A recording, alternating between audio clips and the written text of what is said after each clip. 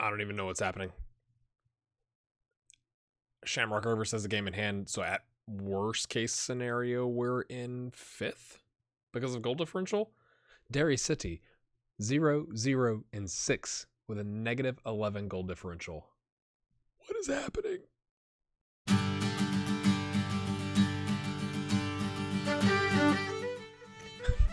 oh, uh, all right, my friends, welcome back in. Um, I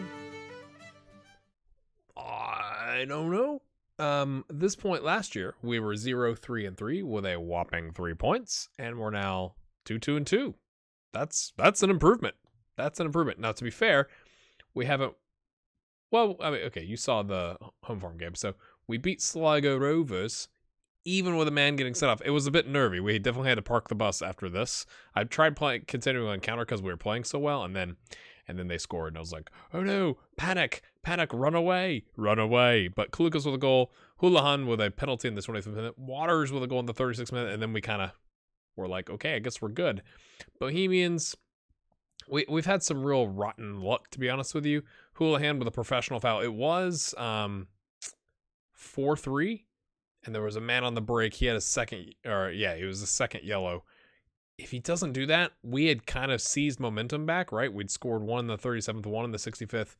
We were like making a charge to come back and equalize, and then we had a sending off, and then of course they they scored in the 89th minute because we were still pushing for it. Because it's like if you lose by two, that's no different than well, I mean goal differential at the end of the day, but it's no different really than losing by one. So we might as well try and try and win. Um, this game we played really well both of their goals, not one, both of their goals came off of one of our defensive players trying to make a like wind up pause, take a huge swing back with your leg, kick, and it goes right into an opponent or a teammate right in front of them. Both times. One of them was Adeyinka, and the other one was uh, Gannon. So McGuire has the own goal because after it clattered around, they took a shot or uh, they were trying to cross it and he like tried to get out of the way and it hit him and deflected and went in. But it really was an unfair result. I mean, really was an unfair result. We should have won that game. But both of them, like eddie Adeyinka was like think and it like the guy's standing right in front of me. Like if you could have taken a touch and dribbled around him or like passed back to the keeper or whatever. So we, we could even be higher than we currently are. Um, medical center is Lots of high risk injury. We're resting Vice Captain Jack. No, we're not. No, no, he can play today. He'll play today, and then we can rest him because he's the only one. I'm a little nervous about that because he's the only one with above average injury susceptibility.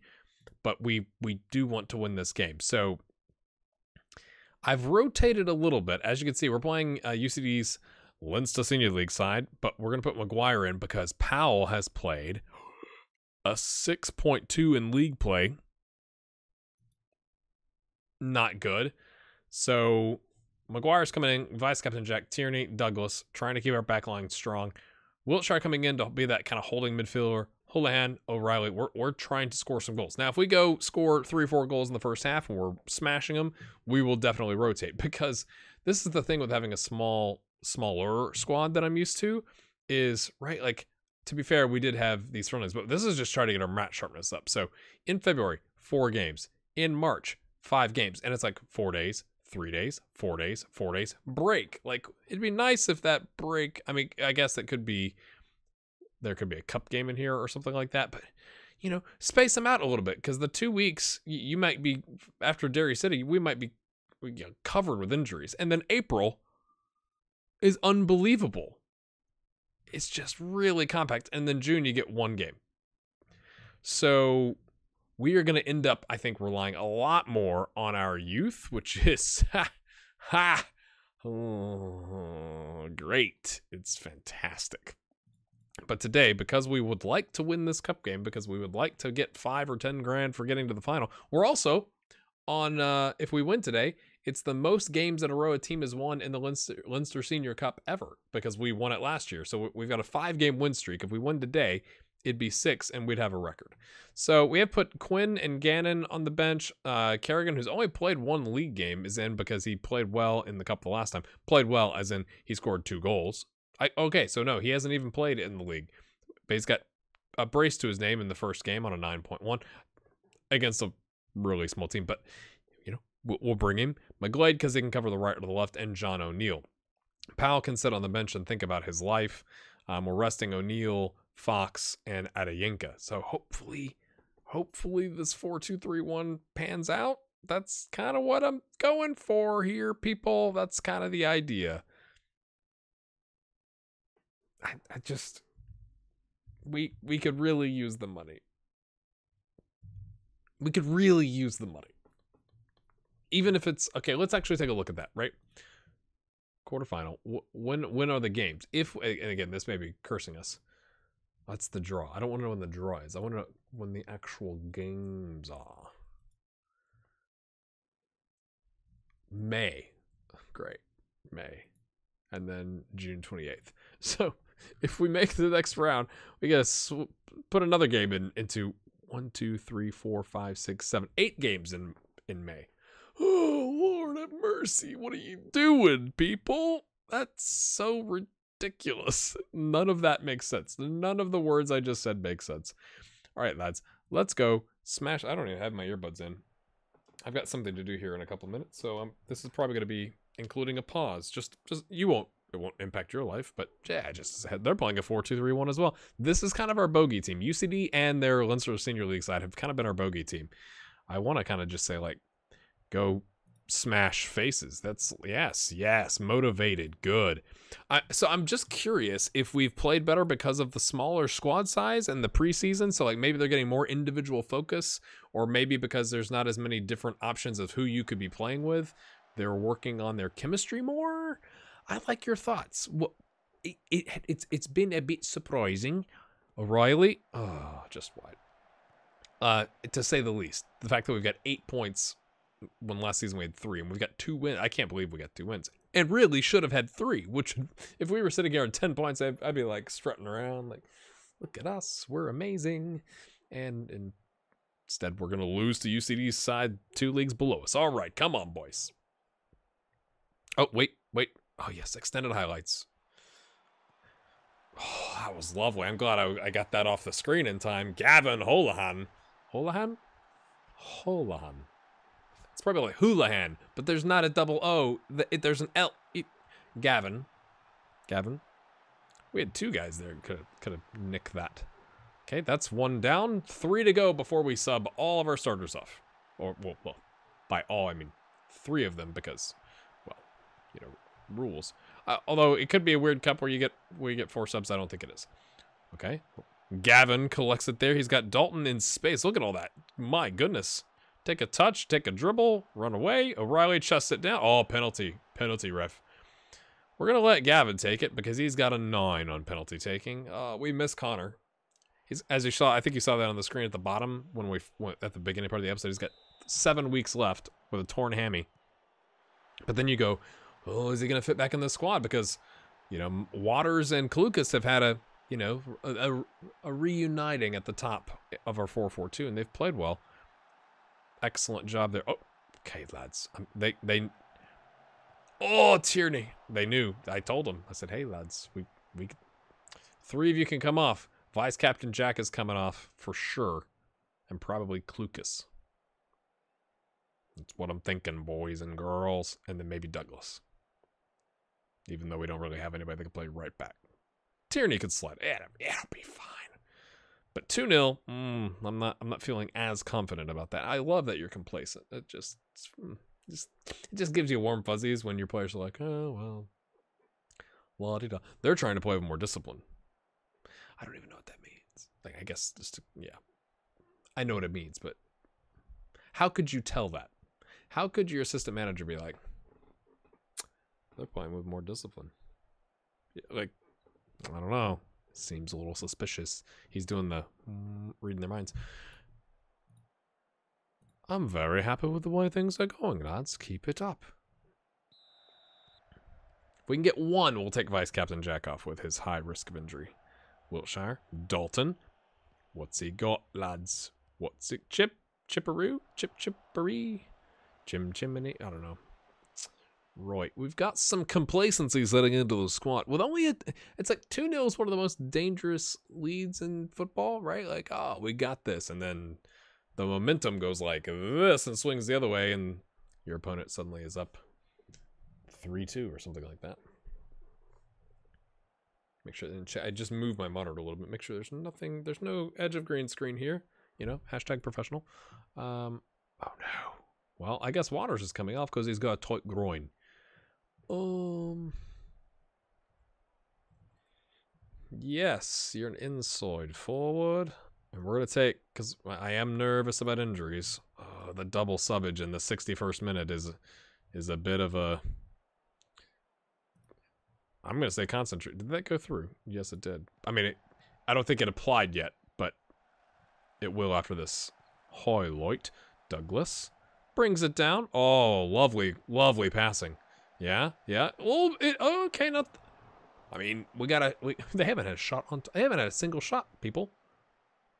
Okay, I guess Clucas is gonna stay on. Sorry, mate. We could bring O'Neill on, but I'd rather take Douglas off. And that's what we're gonna do. We're gonna slide Tierney over. And then Steven Fitzgerald, who's our ball-winning midfielder, is gonna drop back. Surely we can hold on to a 2-0 lead. Okay, that was a little Anytime one of our players heads the ball and it doesn't immediately go away from goal, I get nervous because we have a we tend to have a habit of uh, you know, bad things happening on that on that front. That's an interesting wishful ball forward. Okay, Gannon is there. I don't even know who he is. I just know he's a center back with like one and a half or one star potential or, or current ability. Not potential. Oh gosh, that'd be terrible. Why did you sign him? Oh, because my head of youth thought he was the best thing since sliced bread, and then we, we signed him and he was a half gray star. Something along those lines. Okay. Just one second. Alrighty, here we go. Oh great. When you come right back and you get a you get a, a highlight. This is the type of game where it's like, unless this is a goal for us, I don't want any more highlights. Like I would just like to be done with the highlights because and maybe I should drop to like a 4-4-1-1 maybe that might be a smart thing to do. But again, this is this is two leagues below us. We should be able to score. We had 16 shots, only five on target. We've had 16 shots. You know, keep keep shooting, keep them under pressure. Don't let them have any time on the ball. There you go, Lucas. Win that back. Get, um, shot, cross, shot. Uh, counts it as a shot, I guess. Came off his foot. Odd, you know. I guess. McGinnis, right down the middle to one of their midfielders. That was excellent distribution. He knew we were gonna win this ball though. He was just setting okay. He was just he was just setting us up to do amazing things. Oh, that's Fitzgerald. He's not a center back. He can't blame. He's a ball winning midfielder. He doesn't even know how to pass. He just knows how to run into people. He's probably gonna give up a penalty. Wait for it. Wait for it. Wait for the penalty. smells like a penalty. No? No? Oh, oh Wiltshire destroys a man's legs. It's not called for a foul. Clucas is like, oh, okay. Everyone's looking at the ref like, you, you're not, oh, okay. What a save. Uh, although it looked like lawless, okay. It looked like O'Reilly shot more like, like, um, parallel to the goal line rather than at, like the keeper's animation arm. That was weird. Like, shoot more towards the goal. Probably would have gone in. Okay, Wiltshire and Dalton trip over each other, but they, they win the ball back, so we're not Gotta complain too much, I guess.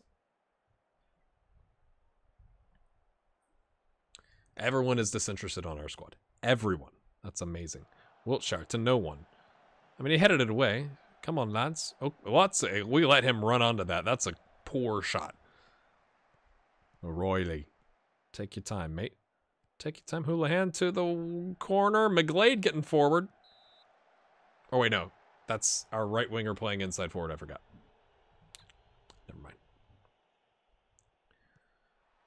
Not as high of a percentage, you know, like the that I was telling you, like 11 of 14 on on target. Six of 20 is 30 percent.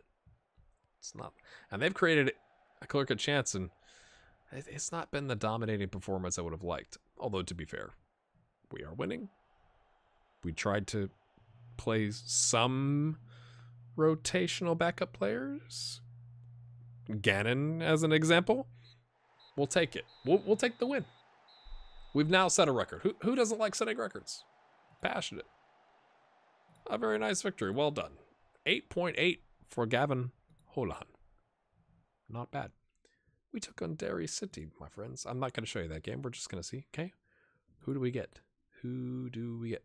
Okay. Any other? Okay. No. It's, it gets all discombobulated with teams playing different. Okay. They got to win. Great. So Shamrock Rovers could still jump us. All right. Let me, uh, let me, hold on. I forgot when the draw is already. That'd be useful. Be useful to know that. It's nice to see that we are title holders of anything, you know? 316. Oh, that's the day of the game. Uh, I, I'm going to hop us forward, but I'm anticipating we're not going to know because it's going to want to show the game, and I'm not showing that game. This is all about cups.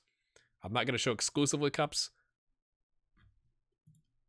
but it's a lot about cups. Hold on just a second. Whew, thought I was going to play another game. Here we go. Semi-final draw. We got Dundalk, not them. Longford would be okay. UCD would be good for tickets, but we'd prefer, I think, Longford Town. Let's just take a look at where they are. They're currently second, and UCD's in first. So pick your poison, I guess. Last season they finished in sixth, though, and UCD finished second. So probably Longford would be the the dream. Let's see, and and to be at home. Okay, it's of course. What is the deal? Oh, it's away from home.